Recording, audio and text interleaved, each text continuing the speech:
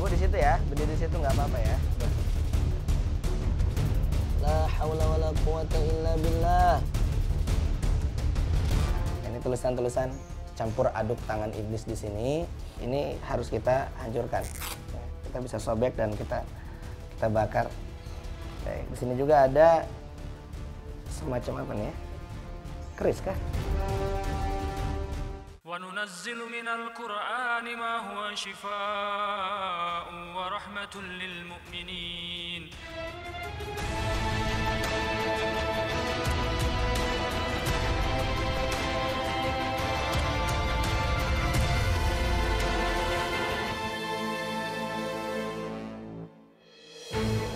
أعوذ بالله من الشيطان الرجيم. بسم الله الرحمن الرحيم الله لا إله إلا هو الحي القيوم لا Assalamualaikum warahmatullahi wabarakatuh. Pemirsa Rukyah, terapi ayat-ayat suci Al-Quran baru saja terdengar. Namun, ketika melihat wajah Eva Meirina yang ingin berlepas diri dari gangguan makhluk tak kasat mata membuat perasaan saya menjadi bercampur aduk.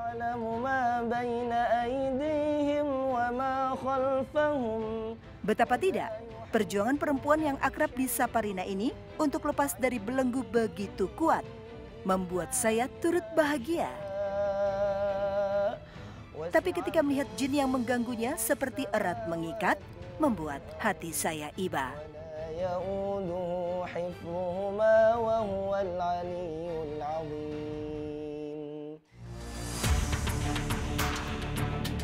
Apalagi deritanya begitu lara, seperti yang diceritakan oleh suaminya Joko Santoso sesaat sebelum saya bertemu langsung dengan Rina. Tanggal 11 Februari 2019 itu mulai sakitnya. Istri saya itu dua minggu tidak makan sama sekali. Minum tidak makan tidak. Selalu mimpi buruk bu. Didatangi orang meninggal. Kalau cerita sama saya itu sambil menulis di buku.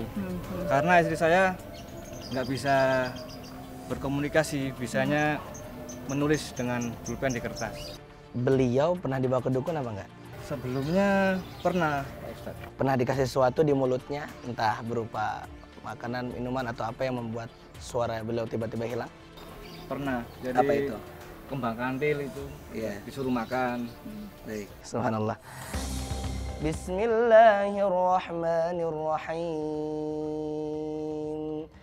Lau anzalna hadzal qur'ana ala Selanjutnya, Ustadz Merukyah Joko. Tidak diduga, suami istri ini saling berkaitan. Ya, saat Ustadz fokus merukyah kepala Joko, Rina turut merasakan dampaknya. Dia langsung memegangi kepalanya. وتلك الأمثال نضربها للناس لعلهم يتفكرون Keluar, percuma kamu tutup telinga. Semakin ditutup semakin sakit nanti. Bismillahirrahmanirrahim.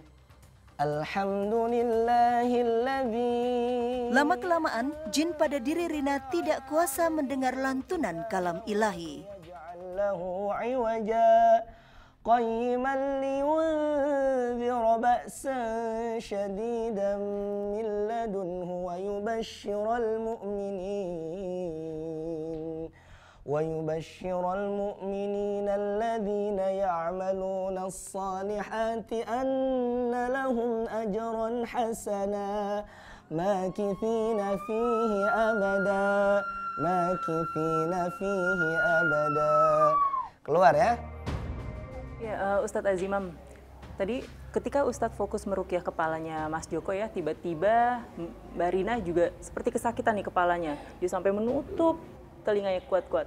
Kenapa bisa eh, suami istri ini seperti saling keterkaitan Pak Ustadz? ini kemungkinan ada perpaduan antara jenis-jenis buhul khariji dan dakhili ya biasanya buhul-buhul khariji ini buhul-buhul yang diletakkannya di sekitar rumah atau di luar tubuh manusia Kalau dakhili itu ada di dalam tubuh manusia.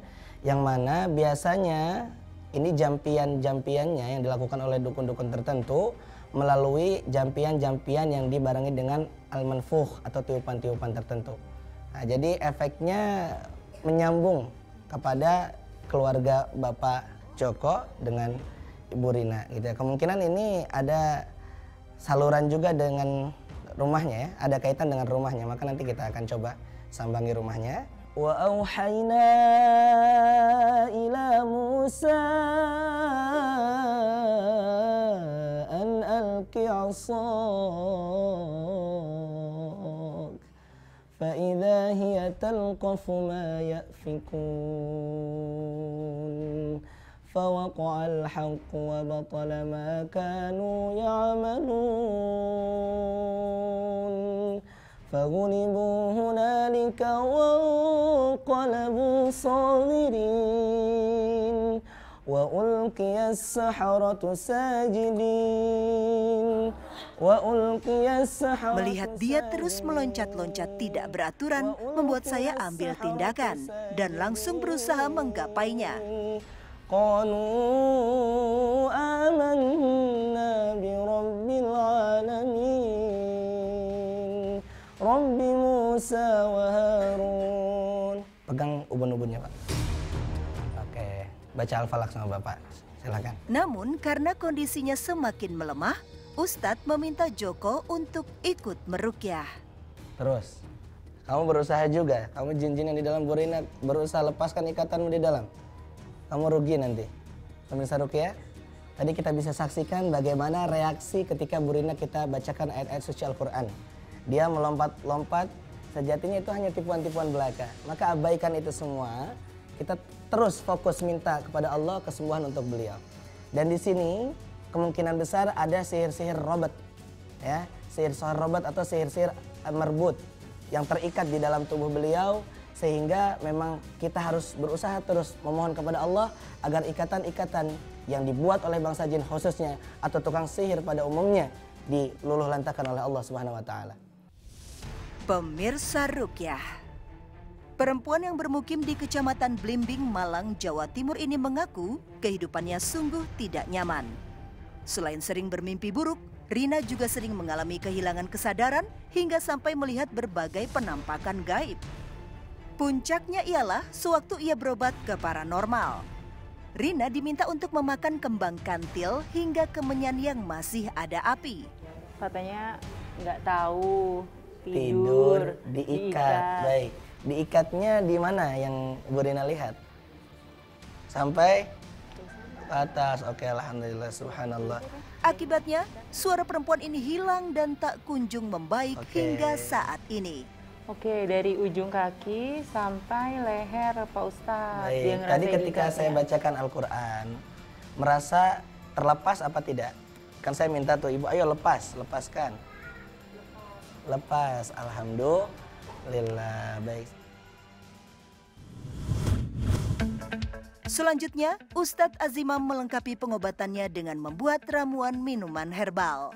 Baik, selanjutnya kita akan coba membuatkan minuman-minuman sunnah yang tentunya dicintai oleh Rasulullah Sallallahu Alaihi Wasallam. Di sini ada susu kambing. Lalu kita aduk rata sambil bacakan ayat-ayat suci Al-Quran. Bismillahirrahmanirrahim. وأوحى ربك إلى النحل أن اتخذي من الجبال بيوتا ومن الشجر ومما يعرشون ثم كلي من كل الثمرات فاسلكي سبل ربك ذللا. يخرج من بطونها شراب مختلف ألوانه. فيه شفاء للناس.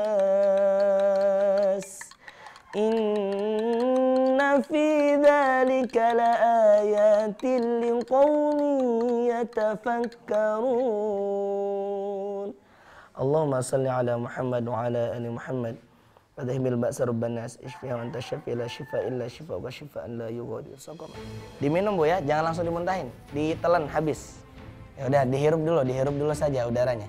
Terus, terus, terus. La haula wala quwata illa billah. Alhamdulillah. Oke, sekarang silakan Mbak Rina sama Pak Joko saling memaafkan dulu. Ya. Setelah rasa mual dan pusingnya hilang, Rina dan Joko mustajab. saling memaafkan. Ya, doanya lebih mustajab. Sembuhnya cepat dengan izin Allah. Oke. Ya, rasa sedih, duka yang sedari tadi menyelimuti, kini berganti senyum dan tawa. Oke, alhamdulillah. Habis ini kita ke rumah Pak Joko dan Bu Rina. Ya, tolong tunjukkan tempat-tempat yang tadi ada gangguan-gangguan tertentu, kita akan rukyah rumahnya. Pengobatan Ustadz Azimam belum selesai. Sekarang, sepasang suami istri ini diminta Ustadz untuk menunjukkan lokasi di rumah mereka yang membuat Rina sering merasa ketakutan. Sesampai di rumah mereka, Ustadz meminta air secukupnya untuk dirukyah.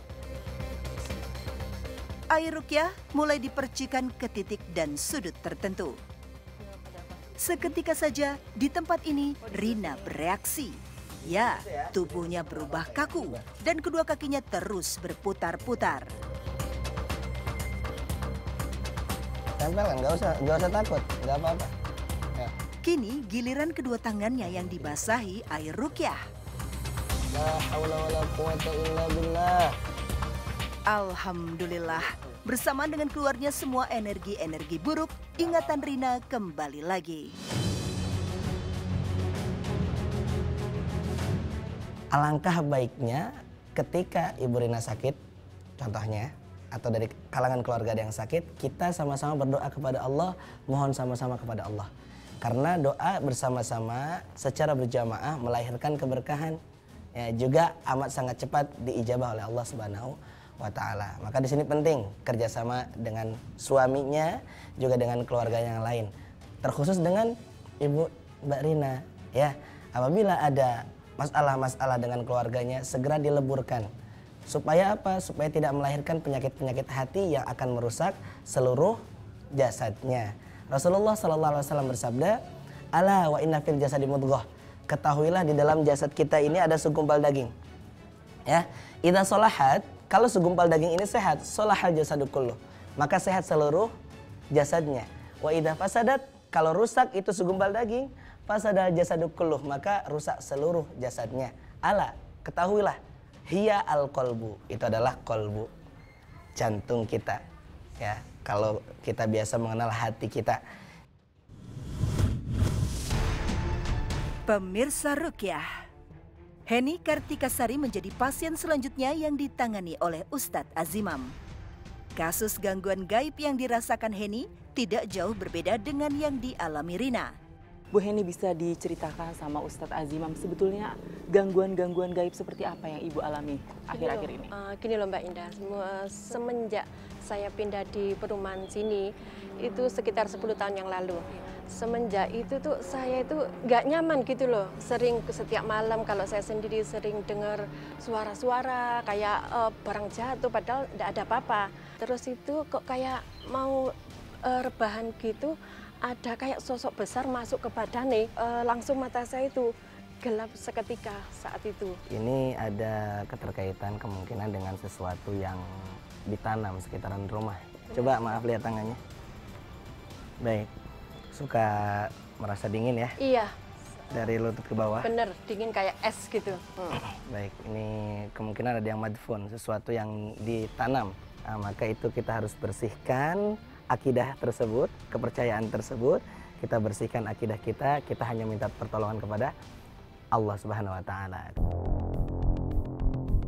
Bismillahirrahmanirrahim. Yakadul barqu Pengobatan yakhtafu rukyah syara'iyah pun absarahum. dimulai.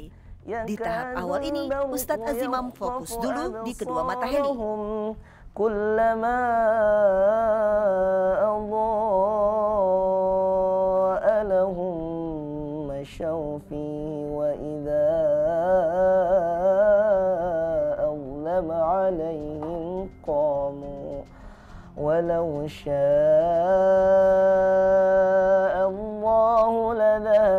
لذهب بسمعهم وأبصارهم إن الله على كل شيء قدير هذه بالبصر ربنا اشفيها وأنت الشافي لا شافي إلا أنت شفاء Tidak lama kemudian, perempuan berusia 41 ini mulai menangis terseduh-seduh. Ketika jin pada raga Heni mulai menunjukkan keberadaannya, Ustadz meminta Mulyono, lelaki yang telah menemaninya selama belasan tahun, untuk ikut merukyah. Bismillahirrahmanirrahim. فلما ألقوا قال موسى ما جئتم سيبطله إن الله لا يصلح عمل المفسدين ويحق الله الحق بكلماته ولو كره المجرمون Dari sini ya. Oke. Ustadz melanjutkan pengobatannya kembali. Kali ini Ustadz menggunakan ampas teh celup basi untuk merelaksasi kedua mata Heni. Kita kasih Mari kita mengabdi kepada Allah, bertobat kepada Allah, kita fokus hidup di dunia ini untuk beribadah. Heni sudah tidak bereaksi lagi. Ustadz kemudian menetesi kedua matanya dengan madu Yaman.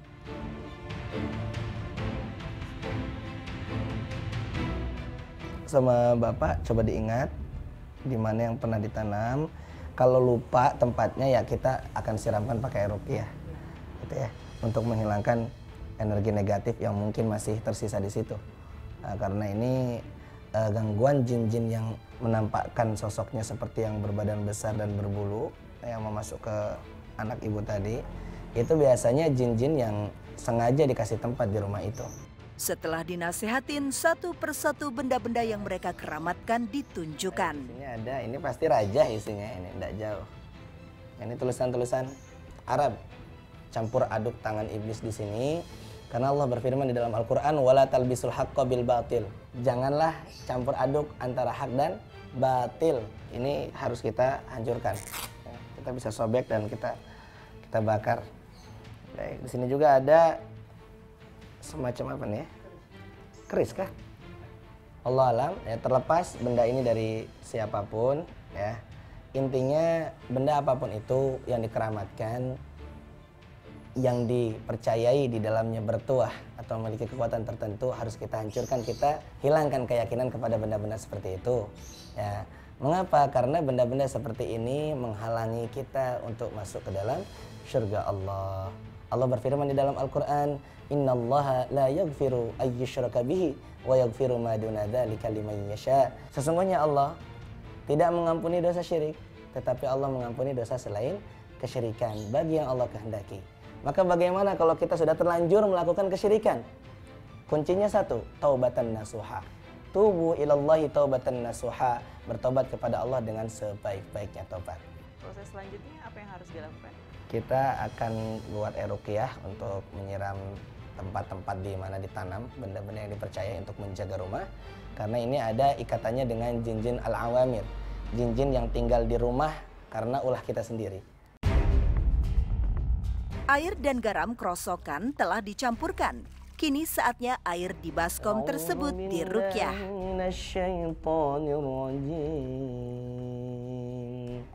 Bismillahirrahmanirrahim.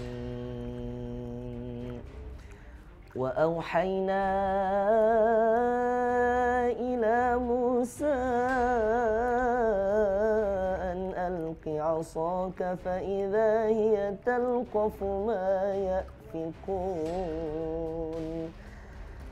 فوقع الحق وبطل ما كانوا يعملون. فغلبوا هنالك وانقلبوا صاغرين. وألقي السحرة ساجدين. قالوا آمنا برب العالمين رب موسى Oke, sekarang kita siram. Bapak tolong tunjukkan tempatnya di mana yang Bapak ingat. Syukur-syukur bisa nemu, bisa kita siram. Kalau tidak nemu kita gali sedikit, baru kita siram. Ya, ayo, sunnah. Setelah selesai, Ustadz meminta Mulyono menunjukkan lokasi-lokasi yang menjadi tempat disimpannya benda-benda pemberian dukun. Di mana itu, Pak?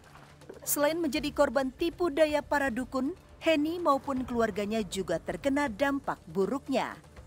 Ya, satu keluarga ini menjadi incaran makhluk gaib.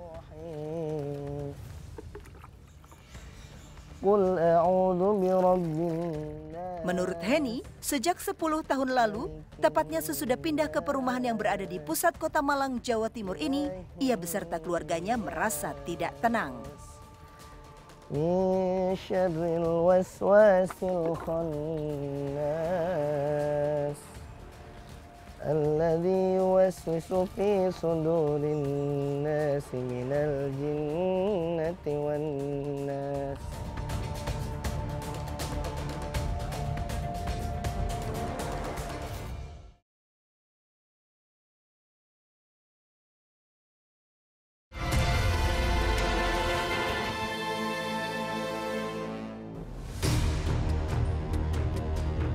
Benda-benda seperti ini sama sekali tidak membawa manfaat, sama sekali tidak membahayakan kita kalau benda-benda seperti ini kita campakkan. Maka langkah baiknya kita bakar, lalu kita kubur supaya tidak ada fitnah lagi di kalangan manusia. Allahumma salli ala Muhammad wa ala ali Muhammad. Sungguh ajaran Nabi Muhammad sallallahu alaihi wasallam adalah ajaran yang hanif, yang bersih daripada kesyirikan. Setelah menyadari bahwa golongan jin senang mengganggu ketenangannya, Henny sekeluarga mengambil keputusan membakar semua jimat-jimat titipan paranormal. Setelah benda-benda yang dikeramatkan musnah, Henny merasakan banyak perubahan. Alhamdulillah.